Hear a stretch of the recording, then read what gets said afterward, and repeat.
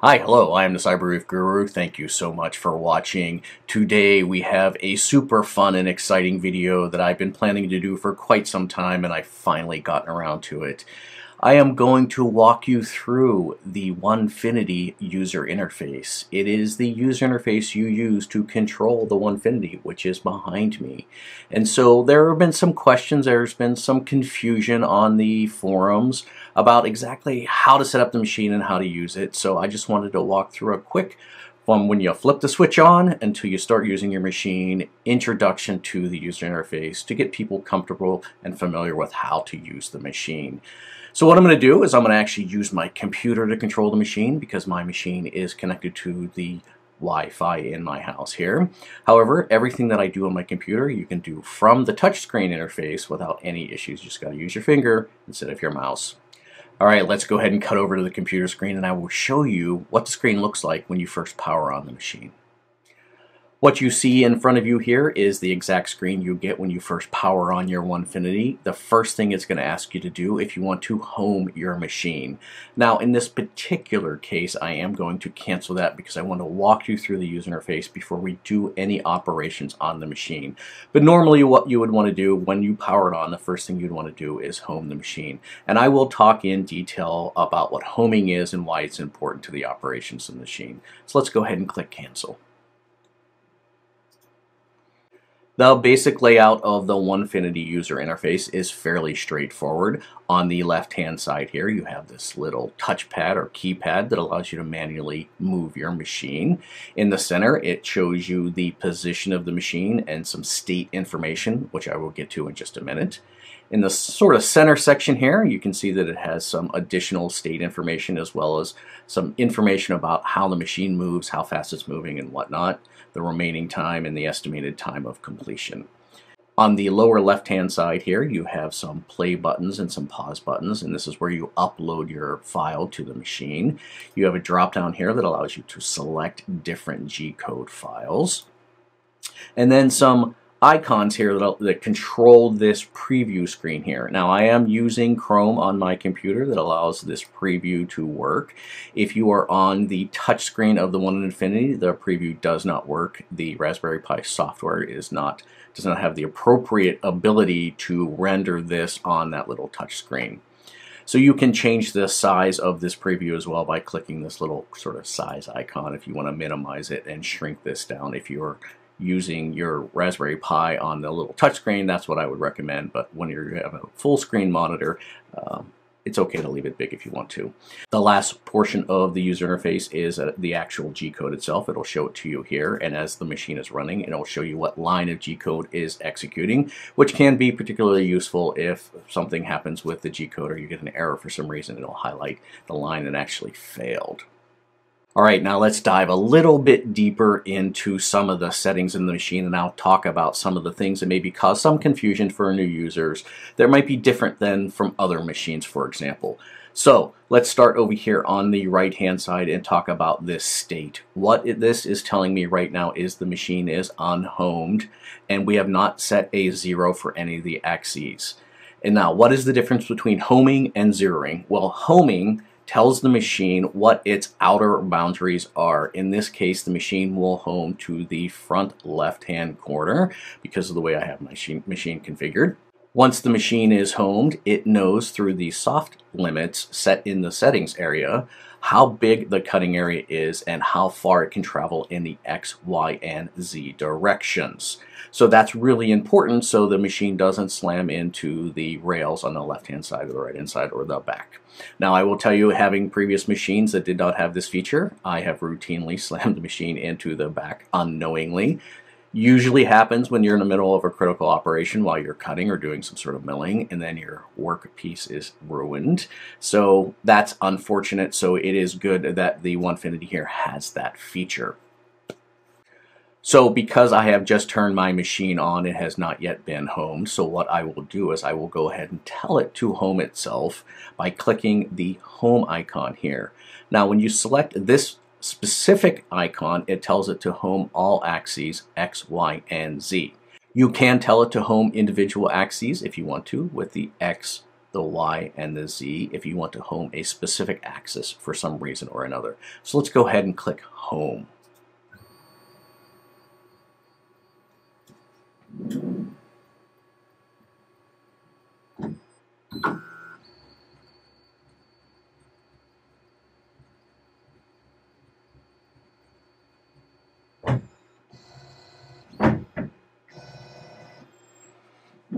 All right, well, so the machine homed, and what you can see, most everything on the screen has turned green. That is the indication that the machine is ready to operate, and you can see the states have changed to homed for everything except for the Z.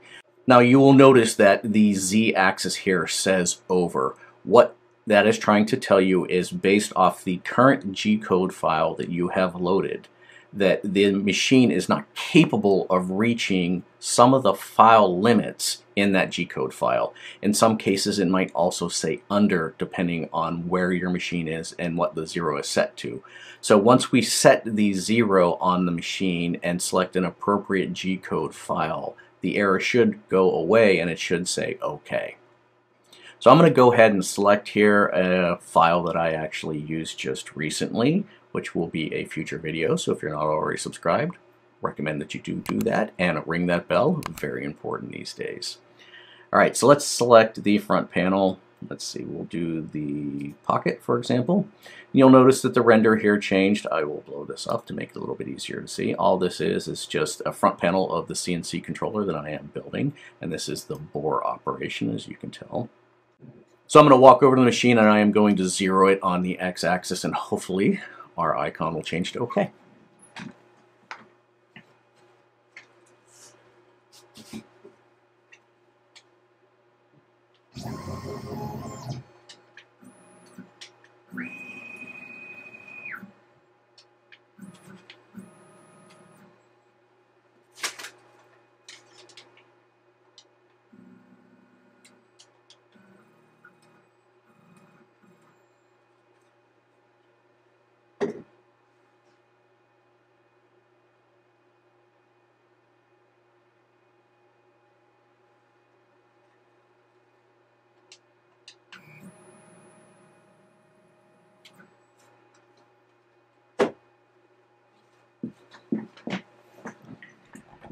All right, fairly straightforward, uneventful. You can see the minute that I selected the zero button here, the machine went from the under to the OK because it now knows what its soft limits are relative to the G-code file and it is safe to cut. I generally zero each axis individually on the X, Y, and Z manually. Alternatively, you can use the touch probe I do have a touch probe, however, I have not set it up yet, so I have not used it, so I don't have any experience with this particular machine uh, and the touch probe. The next area of the user interface that folks might want to investigate are these tabs here directly below this control panel, which I will talk about in a minute. The tabs here allow you to do an automatic control of the machine. That is where it'll run the G code automatically. You can click on MDI here, which stands for Manual Data Input, where you can type in manual G code and execute it by clicking the play button here. The messages area is where it'll show anything that happens with the G code while you're running it. If there's an error, for example, it'll pop up this little message tab and show you what the specific error is with your G-code. The last area here is this indicators tab, which is very interesting, has some lots of very useful information, especially if you're using a variable frequency drive. Um, so this shows you the state of all the pins that are on the breakout, that DB25 on the back of the controller. It shows you the state of all of these pins. And so if you are using it to uh, have a manual e-stop, or if you're controlling a VFD, uh, or if you have some sort of uh, issue with your motors, it'll show some information here. Now, generally don't ever need to go here unless you're investigating something specific, but it is fairly useful to understand what the state of that DB25 is. The next area of the user interface that I would like to focus in on is this keypad here and the buttons down below to talk about how to actually control the machine. So what this keypad does is it allows you to manually move your machine by a set distance. And in this case, it defaults to the point 1, 1, 10, and 100 based off the scale that you have set here and it is set to metric. So you can select this drop down and select between metric and imperial. So if I were to change it to imperial, you can see here that it changes this to 0.005 or 5 thou. You have 0.05, 0.5, and 5. So in this case, this would be inches. I usually leave my machine set to metric. Um, even though I do most of my cam operations in Imperial, I do output them in metric because there was a bug in earlier version of the software that caused some issues with the Imperial cam for some reason. So I just leave everything set to metric. And I'm trying to train my American brain uh, to understand millimeters and what distances really mean. It's been a little bit of a challenge for me, but um, uh, I'm, I'm, getting there. So hopefully you can get there as well. So in this case, we can jog the machine uh, uh, forward uh, in the y direction or backwards in the y direction, left and right with the X, and then up and down with the Z. Now there are four other buttons on the screen that I find useful occasionally, which is the jog plus X plus Y, the minus X plus Y, minus x minus y and then minus y plus x. So what that means is it'll go forward to the right, forward to the left, backwards to the left, backwards to the right. So that's pretty useful if you want to maybe put your machine to the center very quickly. You can set it to maybe 100, for example, and then tell it to uh, jog forward to the left and right. Now, I do not have my dust shoe on, so I will not jog the machine right now and move it around. It might destroy something. So the other area just below the touchscreen, this is where you can use the automatic probing function of the machine to set the zero. So that is very useful if you have a touch plate like you can get from Onefinity. And you can probe X, Y, and Z, which will set your X0, your Y0, and your Z0, or we just do a Z0. When I use a touch probe, I generally do it for Z only. I don't use it for X and Y. I usually eyeball that depending on where what I'm doing. The reason I generally do that is because I do a lot of cutting with wood and I don't usually cut right up to the edge of the wood. I set the zero further in, so that's where I just generally eyeball the X and the Y and then use it to set the exact Z height, which I find a lot more reliable and a lot easier to do than a piece of paper like I did earlier. The next area of the user interface that I want to run into is the flyout menu here. So this little three bars, if you click this, it'll fly out some different settings areas. I'm going to walk through these very quickly. You should not have to come here very often. You really only need to do it while you're setting up your machine, but I do want to walk through some of it. Now, the one area that I will tell you that you should use uh, on it every single time you use your machine is the shutdown button. So in the flyout menu, in the version uh, 304, they actually added a shutdown button here. Because the Onefinity is based on the Raspberry Pi. Raspberry Pi is based on Linux, a Unix operating system. It is important that you tell the machine that you are turning it off. Simply killing the power can have very bad effects to the operating system if it is in the middle of doing something or if it has some file that is open that it is writing to. It could corrupt the machine and might even break the operating system. So highly recommend that you shut down your machine each time you use it rather than just killing the power. The next area in the flyout menu I want to cover is the settings area here. This is where you can set a variety of different parameters. So if you are using the touch plate, you can set the size of the touch plate here and how fast it does the seeking function while it's setting its values. There are some stock areas here where you can change the G-code, what the machine does when it starts running a file, when it does a tool change operation, or when the program ends.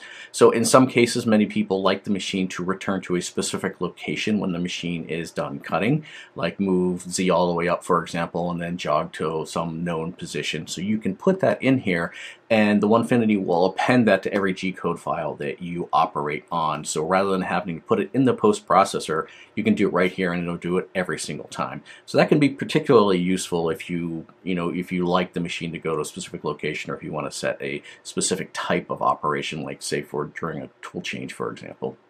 Last thing down at the bottom here is the max deviation. This is where you can tell the machine how to interpolate between two different move operations. This is generally used for curves and arcs.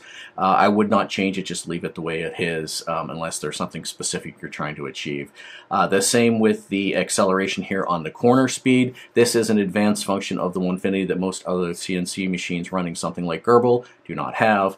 What this allows you to do is as the machine is entering a hard 90 degree turn, it will automatically slow down so that it doesn't jam the bit into the corner and then pull the bit out. So this is an advanced feature and very helpful to control the axial load on your end mill. Next area of the user interface is the motors area. Now all of these are essentially the same. The difference is that uh, motor 0 in this case is X, motor 1 is Y, motor 2 is the other Y motor, and then motor 3 is Z. So what you do here, this is where you can tweak your drive settings and your current uh, for the homing operation.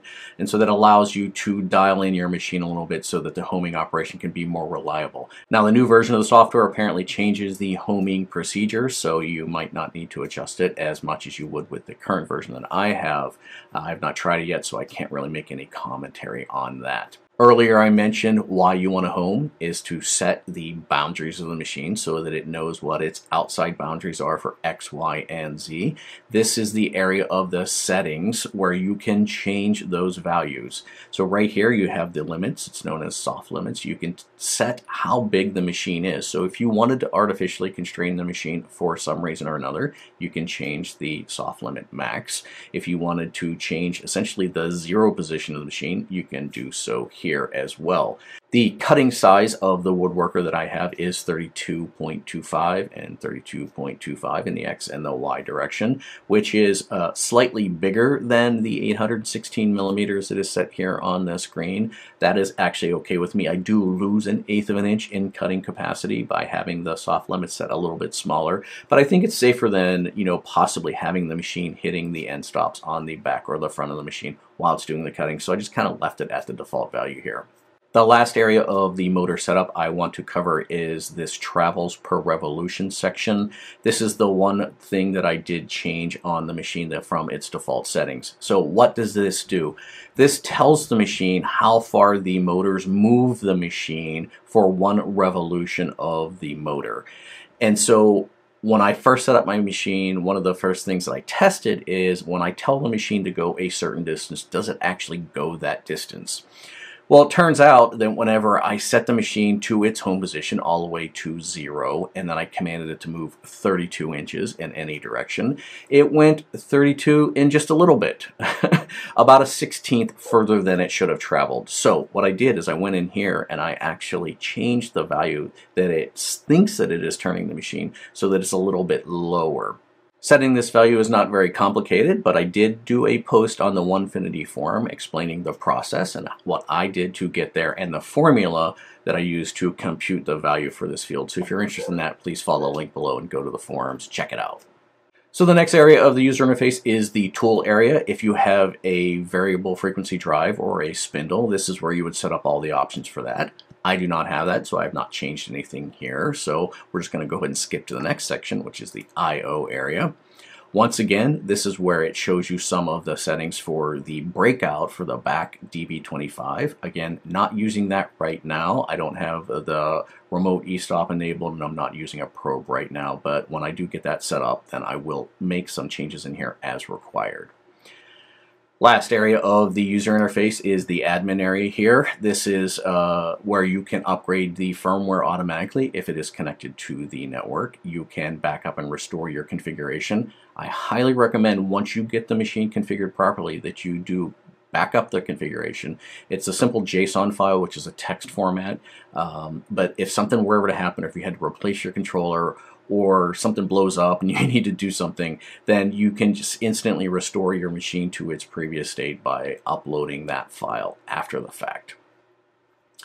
The next area here is the network area. This is where you can set your host name on your network if you're using a network. Uh, the remote user ID, for example, here, which I have changed, and then set up the machine in the Wi-Fi area. Now, I will tell you the machine has two separate Wi-Fi options, which is very interesting and very unique. So I have mine set to client mode. That is where I have connected the machine as a client to my home Wi-Fi, or at least one of my Wi-Fis. I have many. um, and then set the password, obviously. The other alternative is to set it in access point mode. That is where the Onefinity will broadcast an access point and you can set the SSID and then using your phone you can connect or your computer you can connect to that access point. And so that makes it a server in some regard so you can still use your computer to look at what is on the machine or control the machine, even if you don't have Wi-Fi wherever your machine is. So it actually creates that Wi-Fi access point for you to connect with a computer or your phone and control the machine. So that could be incredibly useful for folks who might have their machine, for example, in their garage where there's no Wi-Fi or there's weak Wi-Fi signal, um, or that metal enclosure around the Wi-Fi is causing some issues with the Wi-Fi. So um, if you do want to use your machine in network mode and you don't have that Wi-Fi, then I do recommend just setting it up in access point mode and then it'll broadcast that. Now, while you're connected to the machine, you can't do anything on the internet, which is a little bit of a bummer, um, but you can upload files using Wi-Fi, which is what I do rather than using the USB stick. It's a lot easier, and I will show that next. So we're back here in the user interface on the main screen or the control screen and I want to walk through the buttons here in the middle and talk about what they do and why they're important. So right off the bat you have the play button. This is when you tell the machine you want to command the machine to start executing the G code that you have set here. You select the play button. When you select the play button it will change from a little arrow there to a double line or a pause button. And so if you want to stop the machine, well, if you want to pause the execution of the G-code, you select that button again. And then when you're ready to restart, you select it again and it'll go back to the pause button. Now, if you want to stop the G-code execution completely such that it'll start over from line 1 when you are done, then you select the stop button while it is playing. And so it's important to understand the difference between pause, which means it'll start up where it left off and stop, which means it goes back to the beginning of the G code. So if you do want to stop it for some reason, if something's going wrong and you need to reset everything, just go ahead and select that stop button. Now, the machine will finish its current operation, whatever it is in the middle of doing, before it actually stops moving when you select the stop button. So if it is doing a long, you know, X movement or for whatever, it'll go to that position before it'll stop executing. But if you're in the middle of something like an arc with a bunch of little segments, it'll stop almost immediately during that operation. So just keep that in mind. If something really goes wrong and you want to stop it, maybe you want to use the e-stop button, not the stop button. So the next area is this little file icon here. This is where you can upload G-code files to the Onefinity. So by selecting this button, it's going to prompt you to select your file name, and then you click it, and it's going to upload it automatically, and it'll show up as the selected file in this dropdown. Now you can see here I have a number of files that I've already used. Um, I don't generally delete them right now. I will. If you have a lot of files, you should delete them. But what this allows me to do, if I have a project that I need to make many copies of, that file will be here all the time. You don't have to upload it each time. You just select it from the drop down, set your zero position, and you're off to the races. Next icon here is the download button. What this allows you to do is whatever file is selected here, you can download it. So if you have a lot of files and you want to start pruning it, right, then you select the file, you can say download the file. It's going to show you here. It's going to preview. Then you download the file and then you can select the delete button. It'll ask you, do you really want to delete this G code? And you have two options here, so I just want to sensitize you to this. You can delete everything on the machine or just the one that you selected. You cannot, however, select more than one, but not all. so it might be a little nice if when you select delete, it would give you a set of checkboxes where you can select maybe four or five or six uh, and delete those rather than deleting all of them or just the one. But, you know, it's really up to you.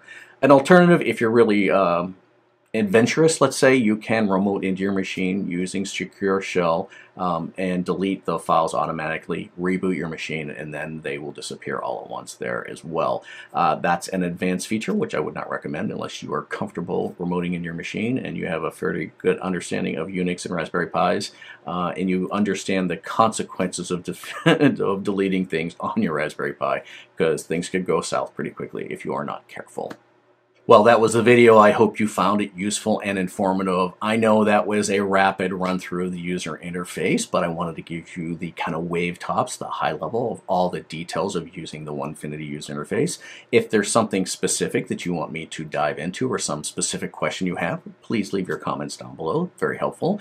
If you like this video, I would appreciate a thumbs up. If you didn't like the video, I would appreciate a thumbs up anyway, but tell me why, and we'll make future videos better. If you're not already following me on Instagram, please consider doing so. That's where I post pictures of projects like this that become future videos. All right, that's it. Thank you so much. Thank you for getting this far. Thank you for watching the video. If you're not already subscribed, please consider doing so. Ringing that bell, very important these days. And don't forget to be inspired.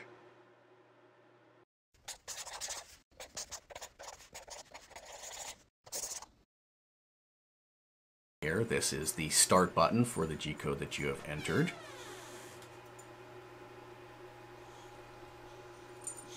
Hi. I heard you barking up there. That was really awesome. Actually, it was Thor that was barking, wasn't it? Yeah, I know. Wiggle butt. Go lay down. Oh yeah, I can see. Oh, Good girl. Good girl. Okay. Do you see that right there? Do you see that? How many times have you done this? We're recording. Good girl. Go ahead. Go lay down. Good girl. Go play. Where the hell was I? what you see in front of you. Ooh, interesting.